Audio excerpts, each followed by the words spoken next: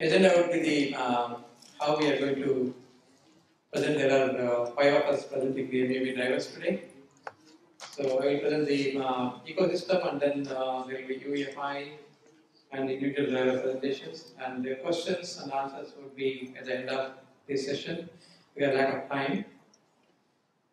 The session organization is, uh, you know Larry, he just introduced me and uh, I will be covering the um, driver ecosystem, UEFI NVMe drivers and the uh, time permits uh, Windows NVMe reference driver. And uh, then we have from Microsoft Mr. Lee Prewitt, he is the uh, man for the Windows drivers, uh, source of the Windows drivers basically. So then we have Parag from Seagate doing the Linux NVMe Fabrics drivers. Then we have Jim from Intel, uh, FreeBSD NVMe driver and also the um, storage performance development kit SPDK. He's going to talk about that. Then we have uh, Sudhanshu Jain from VMware. So then we have the questions and answers. So NVM Express, as you know, you know, we have been beating this uh, session to death for the last three, four years. And uh, it covers all the uh, major operating systems. We have Windows, we have the Linux, FreeBSD, VMware, Solaris, and uh, of course the platform form with the UEFI. Reference drivers are available, source code on the um, NVM Express website. There are contributions from the uh, NVM Express members. They are very passionate and a uh, lot of the folks uh, contribute code to these drivers. They test them. And this is kind of a backup material. Uh, we have a compliance, NVMe compliance, and we have the uh, PCI-SIG and the UEFI plug test. So this is a redesigned NVM Express website. So they did remove some of the links by mistake and I was told that they will be putting back uh, some of them back on this one. So these are the full links we have. So you can look up uh, these things later. So all this uh, material will be posted online. So you will have all this information even if we skip So the agenda would be uh, platform firmware.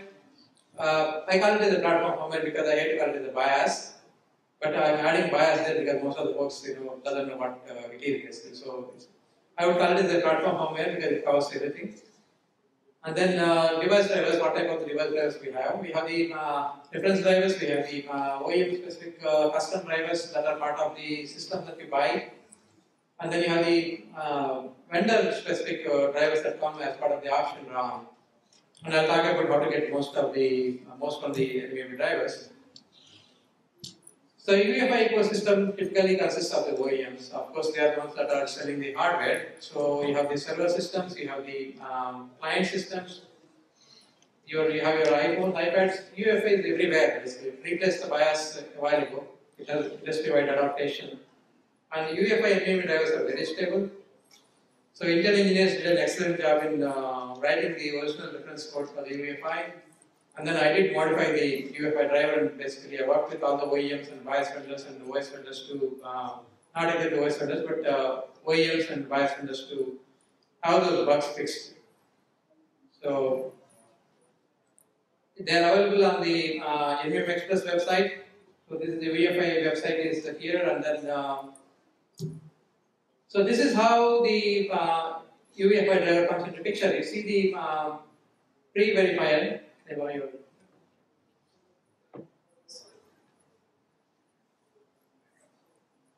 So you have the uh, when you power on the system, right? In the system, so you do the security check. The security phase, then you have the CPU, uh, chipset and memory initialization, You have the board installation. Then comes the next, uh, after the pre-UEFI installation, you have the driver execution environment. That's where the uh, drivers are loaded.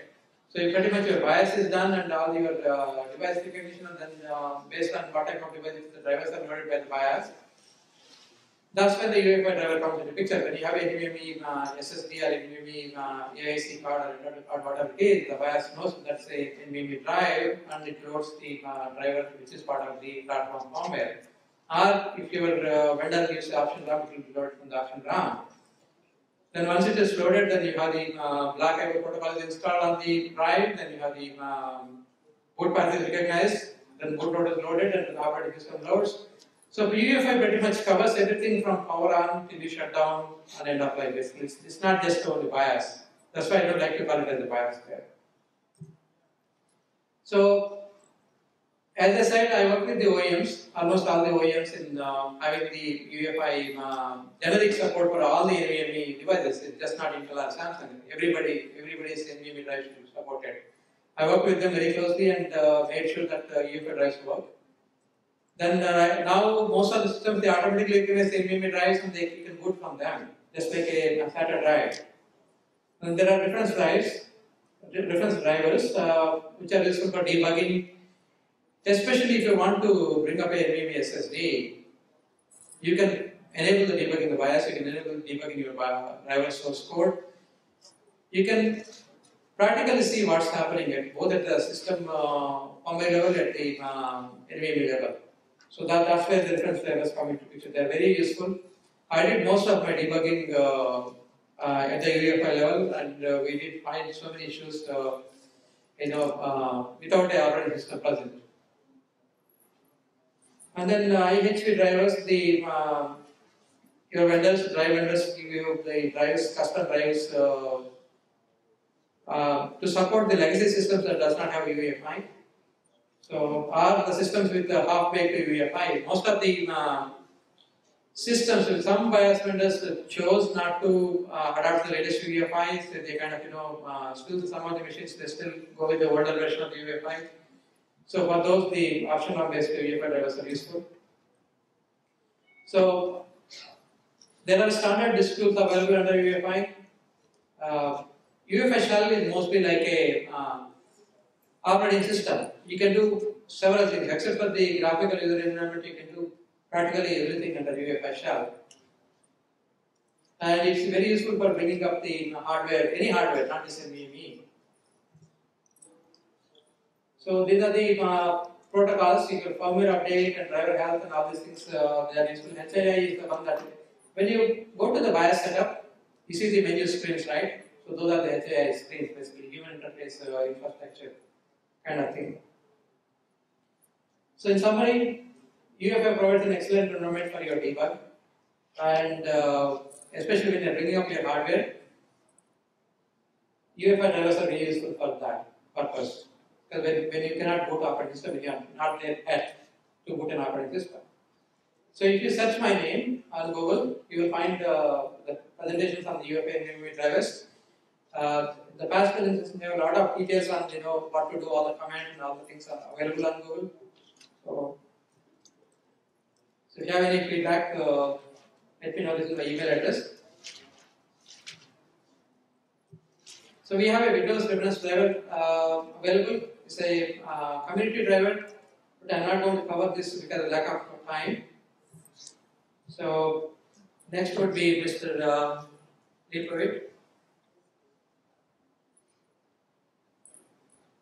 Yeah. Mr. Prewitt is a principal program manager with uh, 25 years of experience in the storage industry, ranging from magneto-optical to spinning Raspberry Flash. He's currently working for the Windows and Devices group at Microsoft, where he is responsible for many of the components in the storage stack, including file systems, filter manager, containers, store port, and Microsoft's inbox, minibox, mini port drivers. He is responsible for storage devices ranging from SD and eMMC in mobile to NVMe in the enterprise and data centers. He is also the Microsoft representative for the to the NVMe board. So I would like to welcome Mr. Purohit?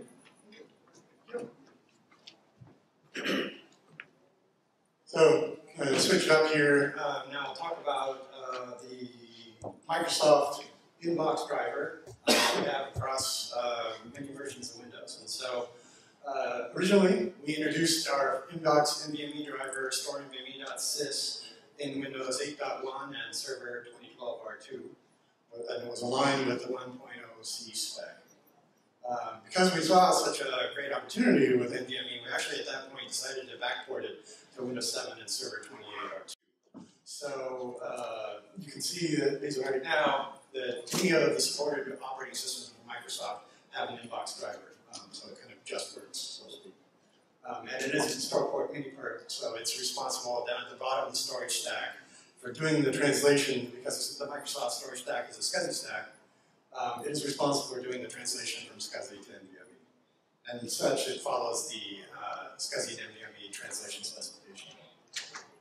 So just a quick look at what does the storage stack kind of look like. You can think about all the way from the application up in user space, where we're talking about it just reads bytes and writes bytes to file handles. Um, we talk about file system, then doing the translation from bytes file to translate file offsets to bytes, and then of course down through the volume manager, translating finally into the storage stack where we actually have a SCSI command, CDB, and then finally all the way down into the mini port where we translate it back again out into the NVMe-ness and across the, to the device. So, with that, uh, the inbox driver is actually fairly performant. Um, we get, a, if you can see from this graph, I think. Uh, so we talk about if we have one device, two device, three device, four device, you can see the IOPS scaling that happens along. Because we do certain problems if we have an application that's not NUMA aware. But if the application is NUMA aware, the storage stack is NUMA aware, and we get a very pretty good linear scaling between one, two, three, and four devices. So this was done on an Intel Brickland system with 60 cores, and you can see how, as we go, the scaling of this average CPU utilization is pretty linear, the megabytes per second is linear, the IOPS is linear, and the average latency is pretty flat. So, pretty good scaling overall. Uh, another um, vector, uh, we have uh, one of our primary, uh, shall we say, say primary motivations in any of the drivers that we do is reliability, reliability, reliability. Um, and so with that, uh, our inbox driver is a highly reliable driver. From our telemetry, we see that its uh, crash rate, unique machine crash rate is on the order of and than half percent. Um, there, it's about uh, three times better than, I would say, vendor A, and a lot, lot better than vendor B. Um, so there are a very um, variety of drivers out there with varying quality, and so that is something that needs to be taken into account when you're testing your systems and you're testing your devices. And What does crash rate mean, percentage per year, uh, per week? for number of number of unique machines we see crashing out there, what is their crash reason? Right? And so the crash reason being the story of the driver, it's a very low reason Good question. Also, uh, this is, uh, driver is now very power efficient. Um, people are wanting to use these things in all kinds of devices, not just enterprise. Um, so have very good battery life for laptops or other mobile devices. Uh, we have two sets. We have the operational power states, where the device can handle I/O, but it's been throttled. Um, that's what we call logical performance states or P states, if you're familiar with those within the Windows architecture. So the idea here is that um, if a device is needed, needs to be used, but we can't use it at its full performance envelope because of, say, thermal issues within the case, we can set it into a lower P state and still get decent performance out of it, but it stays cooler and doesn't burn somebody's ear or something like that. Uh, and then also we have very uh, aggressive non-operational power states, which map to kind of a logical audit, you know, states, what we call F states. So this will be things like connected standby type states, either with user present or user absent. So um, if you're familiar with the old S3, S4, this maps to a kind of a new S3 where the power is very low, but the resume time is also very low. So the user then actually uses the storage and comes back very. And transitions of these states are determined by the overall power state. So it's basically the holistic map of is the user using the device actively, or are they, you know, the screen's off, they're listening to music, or you know, this, thing has, gone into connected standby, and the user is not present at the device anymore. Um, and this can be tuned uh, or disabled depending on what you're um, trying to do with the device uh, via the inbox power config tool. So we have seen some OEMs that want to play with uh, different numbers with this, and so they will uh, take power config and tune the system to their specific device and how they put, the, put their system together. So, uh, some of the possible future directions that we're looking at for the driver. Um, obviously, we're very interested in the screening proposal. We've been actively working with uh, Samsung and others. Um, Write Protect and RPMB for more mobile applications, uh, namespace management, and virtualization. So none of this is for record yet, I always have to say that because the lawyers make me. But uh, we would like to hear from people out there, what do they want, what are the use cases that we're not supporting today that they want to see? So, kind of the call to action, I would love to try it out, uh, see if you have issues, let us know what they are, uh, give us feedback, um, and there's my contact info if there's anything you'd like to talk about. And with that, I have a whole bunch of stuff in kind of penny slides if you could go through um, when you have a chance, uh, take a look at that. And said that I was supposed to display it because he killed me if I did. So, Yeah, so thank you.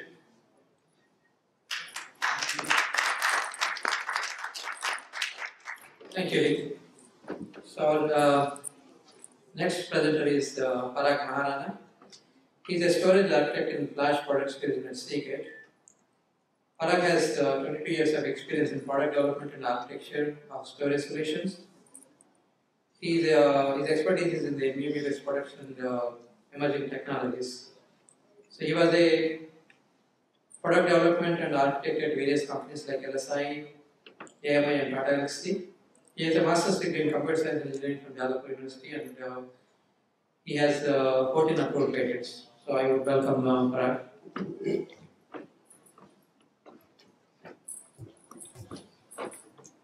Thank you.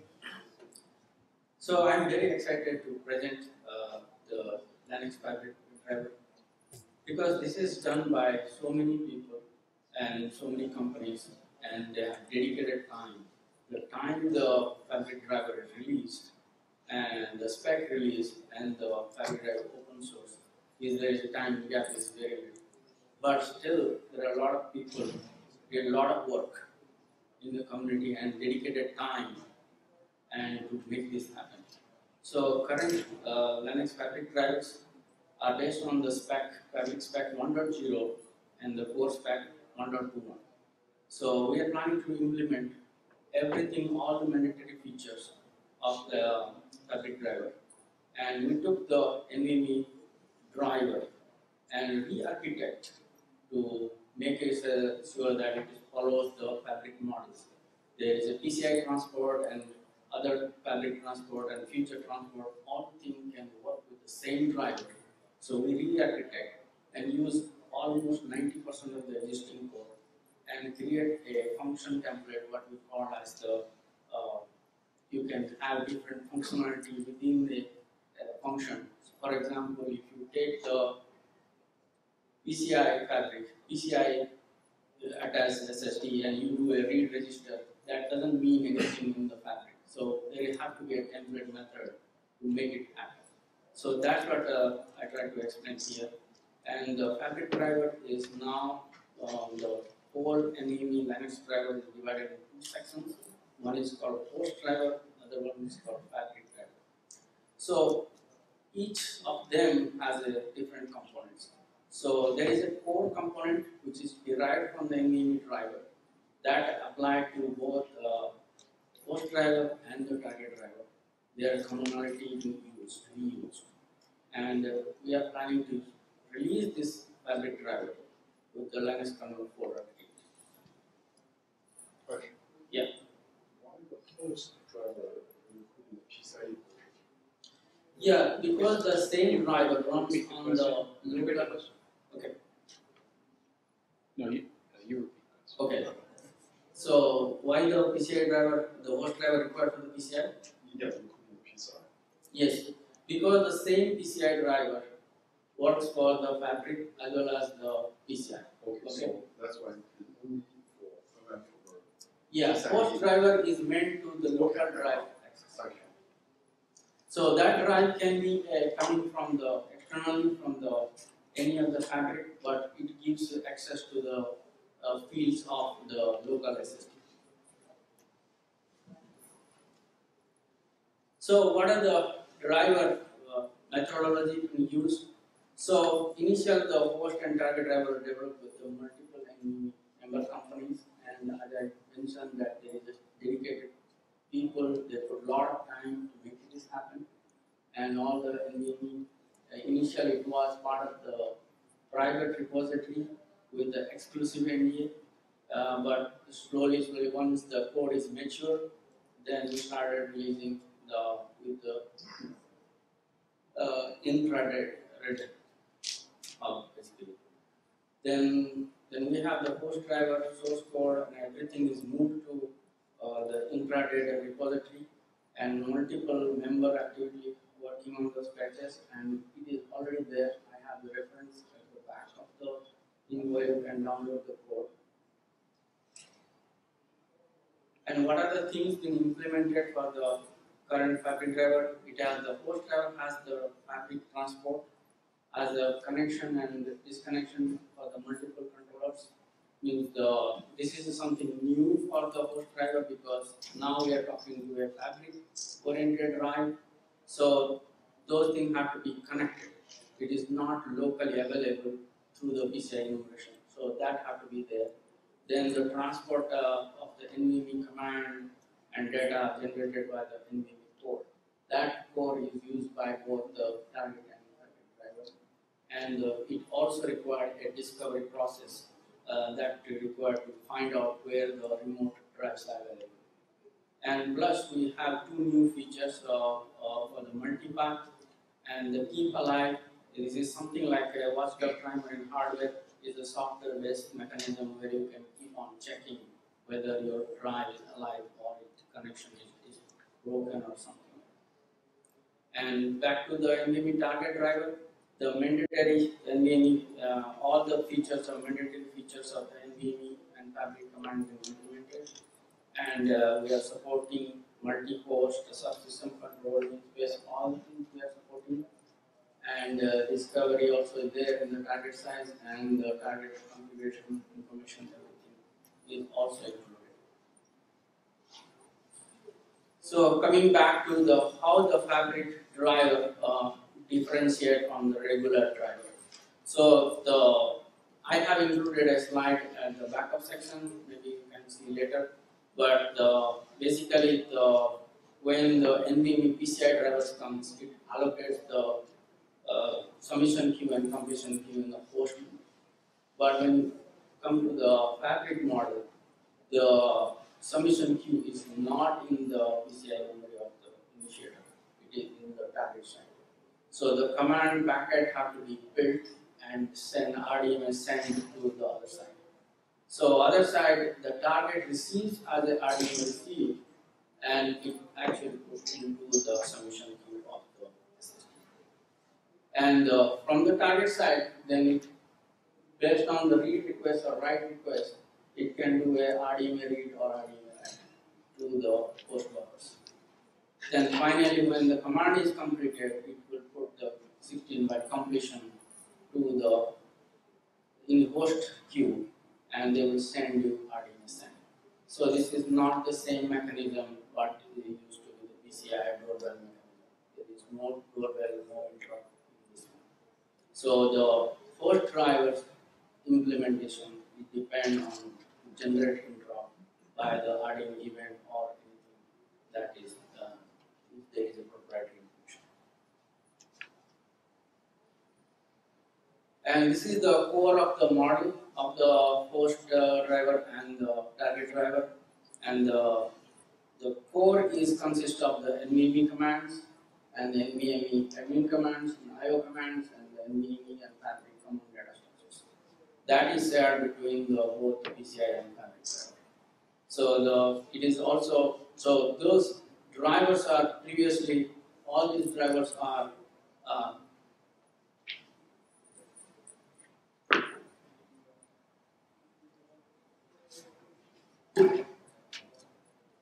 So the all these drivers are part of the NVMe driver. Now they can restructure and form in individual modules, and those modules being uh, clearly defined in the new Linux drivers for source structures. And this is a common driver. You can load a driver and it will say the NVMe core. This is the core driver, and this is the PCI driver. This is the driver. So then you come back to the overall architecture of the NVMe uh, host driver. So it depends on the, this implemented the block MQ interface and you can have the same NUMA based or processor based architecture, queue based mechanism and you can do everything the way you do to a local SSD versus a fabric based SSD. If the mechanism is from block player above, everything looks similar. There is no difference, but below this, it goes to the PCI transport or the RDMA transport. That's where the differentiation comes from the outside, from application point of view. You just need to know that there is SSD available, local or. Next, the, this is the target driver architecture where you can implement the IOs are coming to the target and uh, target process and there is a Linux config.fs be integrated to the config configuration of the target driver that can be used and RDMA fabric. Also the common uh, driver they implemented a loopback driver just to validate if you don't have a uh, fabric driver available or device available, you can still test with the loopback driver.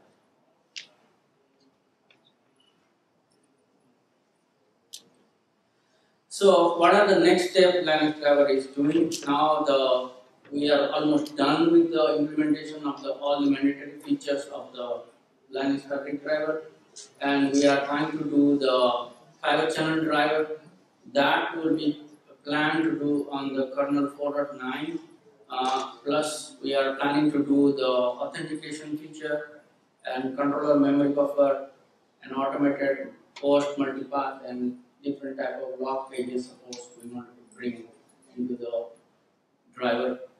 So this will be uh, done post a 4.8 release uh, but we are trying to right now trying to stabilize the driver and we are uh, working on the people to bring come back and say that uh, is there any issue or anything like that. We are requesting people to download the driver and try out. If you think something is missing or something require enhancement or any feature thing, please let us know and we will happy to accommodate you. And here is some um, links. You can download the specification and you can download the fabric driver resources. And plus, this GitHub is already public from the June. You can download the driver. And if you have any question anything, you can send email to this. is source committed and the original other and the machine learning API they may be supported previously. So I would like to welcome uh, Jim.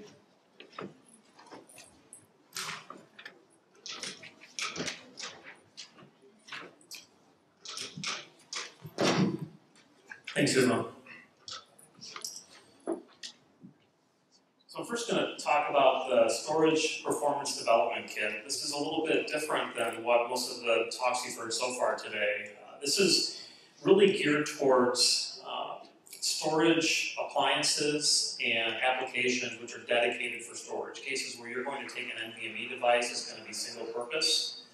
Um, and in a lot of these cases, uh, what we've seen on the network side for a long time, and now with storage as well, is there's a lot of cases where these applications and appliances will uh, avoid a lot of the overhead you might get in general purpose operating systems and actually do the work in user space and pull one to get much better efficiency. And I'll go through some performance data that shows that in some more detail. Uh, this does leverage the data plane development kit. Uh, this is another open source project that uh, is used very widely in the networking space for uh, data packet processing, network packet processing. Uh, this is really designed, um, you know, currently we see huge efficiencies on NAND, but it's especially designed for some of the next generation uh, NVMe like 3D Crosspoint. It is BSD licensed, so you can use it as reference code, porting, etc., without any sort of license restrictions and you can get access to it uh, via GitHub or our project website, spdk.io. So this just shows uh, the building blocks that we've released so far as part of SPDK. I'm just going to talk about this NVMe SSD driver down here. Um, but this is really something that we're designing as a, as a framework for building more sophisticated uh, target applications and user space to be able to take advantage of some of these next generation media latencies. So the NVMe driver features, it is uh, 1.2 spec compliant. Uh, it runs in an asynchronous polled mode operation.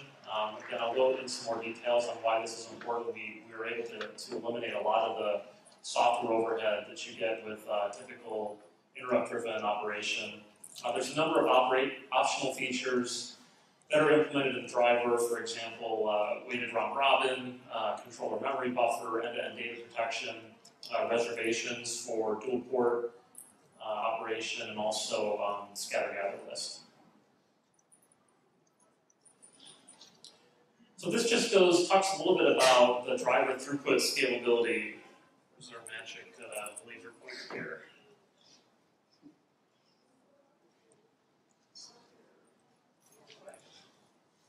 Okay, so, you know, we've talked a lot about how these NVMe Express SSDs, they can get a half million IOs per second.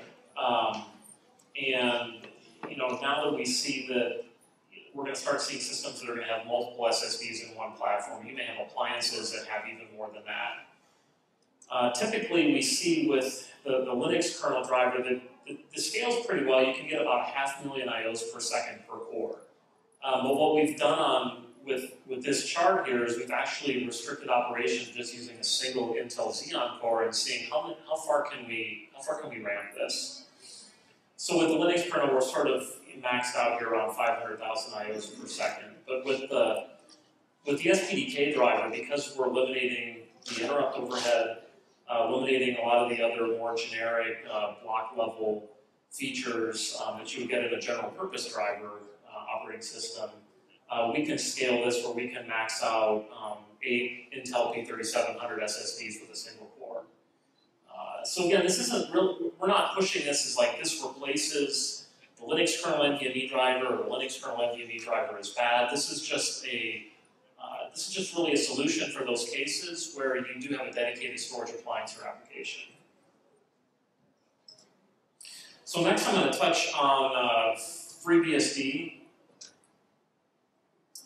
Uh, for those that aren't familiar with FreeBSD, it is a, a rather um, it, it, it's actually rather well used with uh, a lot of appliance vendors. Um, Netflix actually uses FreeBSD on a lot of their cache appliances. Netflix is a pretty big contributor to the FreeBSD project. Um, so just wanted to touch briefly on, the FreeBSD drivers. Uma had mentioned in the past that we hadn't had this um, talk here, so I just wanted to touch a little bit about that this year. So in FreeBSD, you have, uh, it's a full distribution. It's not like Linux where you have the Linux kernel and then you have you know, different distributions. FreeBSD is a whole project. And so as part of that, we have, we have the drivers here. We have the core NVMe driver, um, which traditionally up until just the last few months is, is exposed through the generic uh, block layer. Netflix has recently added support to surface NVMe through uh, CAM, which makes it sort of on par with the SCSI and ATA uh, functionality that's in FreeBSD today. Then it also provides this NVMe control utility similar to like NVMe CLI on Linux to do some of those more management type um, operations. It's a little bit of, of overview. Support was added uh, to FreeBSD in 2012. Um, currently it's 1.0e spec compliant. Uh, the primary contributors are Intel. Uh, Netflix is also a big contributor on this. Um, and then I, I, I, briefly went through these, uh, these modules already here. Um, so in summary, um, you know, especially at the SPDK point, if, if that's something that's of interest to you, uh, please download the source code. We have some example apps, and all the world applications. Um, you know, definitely take the tires on that and provide feedback. And same thing for FreeBSD, if this is something that's of interest to you, um, please take a look and, and provide details of what you'd like to see more of. Thank you.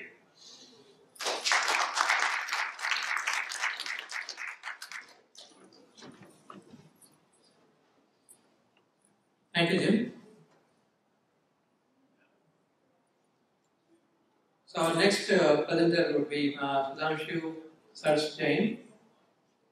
so, uh, Sarj leads uh, vSphere product management to drive network and storage interconnected solutions at VMware.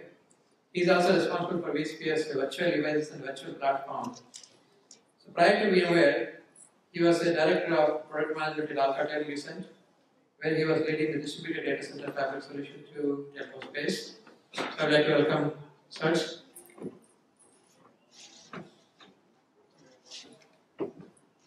Thanks, Uma.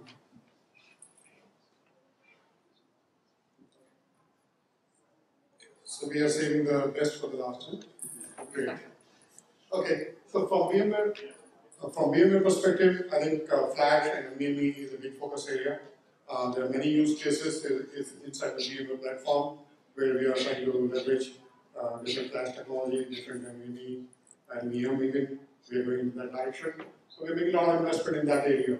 But before we go into that area, I think let me give you a glimpse of where what the thought process was in, inside the VMware to march toward that journey where then we are getting new, newer and newer technologies, uh, and uh, as well as uh, both on the networking side and the storage side, and also VMware's ambition to uh, virtualize complete uh, data center infrastructure itself.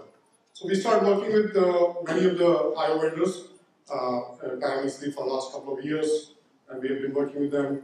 And thanks to them, we have introduced a, uh, we have introduced our technology uh, for the new uh, sets of driver uh, what we want to uh, introduce. So what we had before was sort of a, a legacy architecture, uh, depending on the vmklinux uh, which has been quite popular for the last 10 years or so. But we introduced totally a brand new set of APIs in the, uh, our kernel itself. And that's where we start building our infrastructure. So last two couple of years, we have invested quite uh, extensively in this area, and that's where we are trying to introduce NVMe, RDMA, and NVMe Fabric, and a lot of newer tech technology, 100 gigs and all that stuff coming up, all the good stuff is coming up in this area. So that's where the, our focus is, and moving forward, we want to make sure that uh, most of the new features are coming up in this architecture itself. And from that point of view, uh, basically this is what the core architecture is from the uh, vSphere point of view. So if you see, uh, we have a NVMe driver which uh, been out there forward uh, one release now. We are uh, working uh, to extend that further into the uh, you know going towards NVMe 1.2. Uh, we are also working in the uh, fabric space uh, quite uh, closely with uh, many of the ecosystem partners, and we'll continue to invest in that area. Also, uh, we are introducing RDMA uh, as part of this architecture. Uh, also, we are doing it something I would say maybe the industry's first a virtualized NVMe device. So it's a completely virtualized NVMe device. Currently, it's a, spec to 1.0e spec of NVMe. So any NVMe driver you have from standard Windows or Linux should be able to work on top of it. And we have done some in- initial studies on performance, and it's a lot more pow- performant than uh, what you get from PV specific driver or even a side driver. So that's the area where we want to continue investing. Uh, today, uh, our stack today is uh, is SCSI stack. What we want to get uh, eventually is uh, get end-to-end NVMe stack, and that's another area of focus where we are investing in it as well. So that's the uh, area where we are continuing to invest, and we are trying to build this uh, data stores, LUNs uh, on uh, across the board, multiple abstraction technology what we support, whether it's the virtual SAN, which VMFS or virtual volume, they will all be supporting NVMe based uh, data stores as well as NVMe over fabric data stores. So as far as the journey goes, uh, basically if you look at it, uh, we started in 5.5, we introduced a async driver, not, it was not inbox. Uh, we enhanced that and introduced the first inbox driver in 6.0. It was uh, basically pegged to about uh, 1.0e and we are trying to enhance that further in the coming release and trying to introduce many new features. And we are looking for inputs and feedback from the community, what you would like to see. I know that uh, multiple queues, streams, uh, namespaces, everything is uh, which is up for discussion here, and we are working on it. Same on the fabric side, uh, there are many talks about what all we need to do in the fabric side. Uh, we are trying to work with our RDB community as well as in the fiber channel community to bring NVMe fabric in the multiple uh, flavors going forward. Uh, at a very high level, these are the places uh, where you can get more information. Uh, we have our driver, we are also open sourcing our driver. Uh, it's available on uh, GitHub now. I think there should be some pointer, yes, that's a pointer. Um, what we want to do is, we are making it under BSD license. So if you want to innovate as a partner community and try to bring your own uh, innovation back to the uh, VMware, uh, we are open for that. And actually, you can bring it, your innovation and make it your own exclusive. So we are making the open, uh, the whole ecosystem open for the, uh, for your, um, your innovation to come and be part of the VMware community and supported by VMware officially.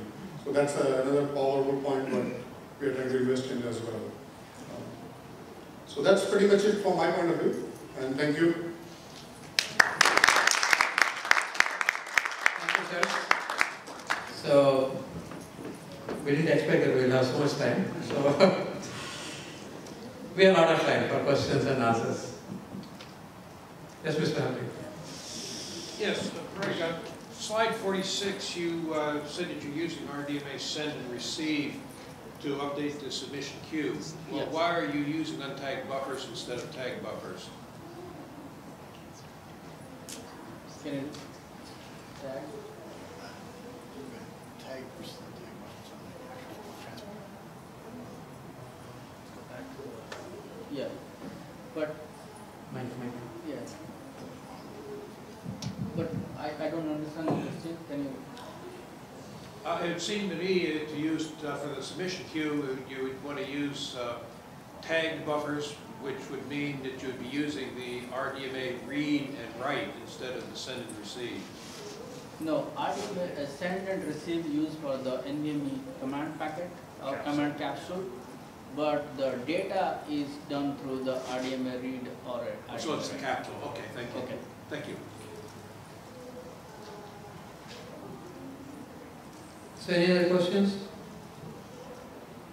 There's a question here. got one. Uh, Yeah, it's a question for Lee. Um, Generally, when I've heard of NVMe and SCSI, a lot of times they're being positioned as sort of competitor technologies, but you've integrated NVMe into a SCSI stack instead of like VMware. That was the starting point. I'm just wondering what, if anything, you feel you've left on the table by bringing NVMe under the SCSI stack, or? Good question. So, what have we left? Yeah, so saying, so, uh, um, from the fact that we have a SCSI stack and then at the bottom we're translating back into NVMe, do we feel that we've left anything on the table? Um, so a little bit, uh, frankly, at this point, uh, where, at the point, if you looked at the diagram I gave, at the point where we actually translate into SCSI at the disk layer, to the point where we're actually sending the command on the NVMe is about five microseconds of latency in the stack right now. We've done a lot to bring it down to a very small level. So currently, as with the devices in, you know, 80 microseconds on a really good device, we're not so bad on the overhead. Next generation from our friends here, we go to single dex, single digit microsecond latencies on the NVMe device, then yes, we start to have a problem. But that being said, my portion of the stack is the five microseconds, and then my uh, colleagues in the file system have higher overhead than I do, so I'll make, I'll make them go first. I think uh, just to add to it, uh, basically, of course, you can integrate the NVMe uh, inside the SCSI stack, and that's what everybody does initially. But there's a lot of value to use NVMe stack end to end, especially when we are looking at it from virtualization perspective. And there's a you know uh, there's a multiple stacks involved here, especially from guest operating system all the way to the drive. Um, we want to make sure that we are able to take advantage of NVMe stack, and that's why one of the reasons we are trying to introduce the virtual device so that in the guest operating system, you can run the NVMe stack to start with itself.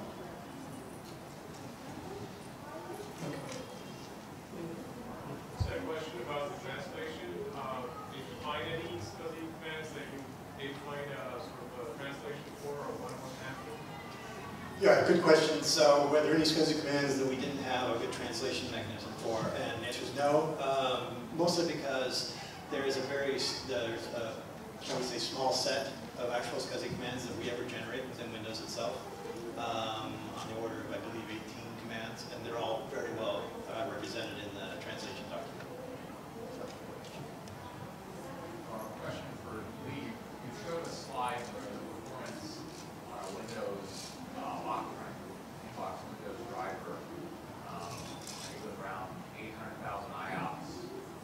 Is that over 60 cores at 10 or 12 percent utilization?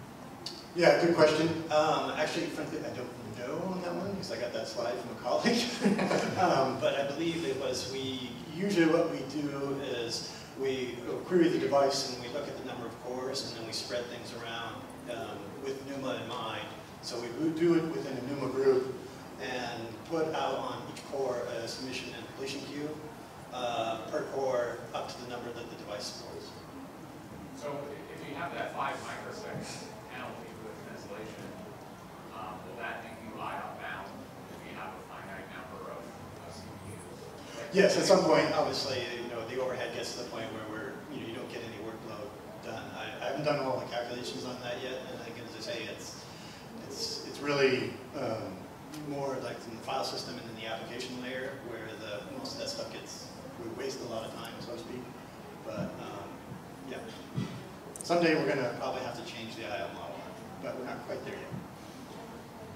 Okay, Mr. Khalid? Yes, could you, any of you, uh, probably Lee, uh, give uh, some example use cases for multiple namespaces? Ah, uh, so asking about use cases for multiple namespaces. Yes. Um, Frankly, I don't really have any. Yeah, so people generally asking for the multiple namespaces, they want to do different things from the different namespaces. For example, they want to move from. Microphone, mic. I think it's. It, it, it's, it's working. Okay. So, so basically, people are asking for multiple namespace and different purpose. So someone want to run to the high IOPS and things like that, 4K block size. Someone want to just boot a legacy uh, block, 512 block size. They may want to have two different namespaces. So this kind of thing, use cases are available today. And if there are different applications, they want to dedicate a namespace for application. Uh, another use case comes out from the virtualization perspective when you have multiple guest operating systems and you want to manage it differently and different priority, uh, that's another area. Yeah, I think from our point of view as well, is really become uh, necessary when you're doing virtualization and you've got SR-IOV and you're giving chunks of uh, the namespaces to a uh, VM. Yeah, that's the correct answer. Thank you.